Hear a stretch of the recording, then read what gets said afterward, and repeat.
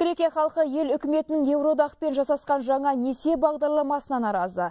Парламент ғимаратының алдында ұйымдастырылған ереуіл тәртіпсіздікке ұласты.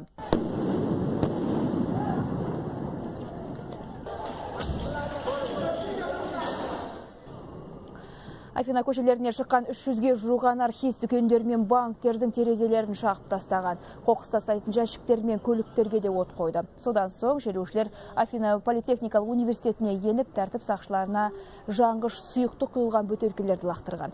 Жергілікті бұқаралық ақпарат құралдарының мәлімдеуінше полиция оқуға орын оқшаулап тастады. Алайда шерушілер қарсы ешқандай әрекет қолданған жоқ.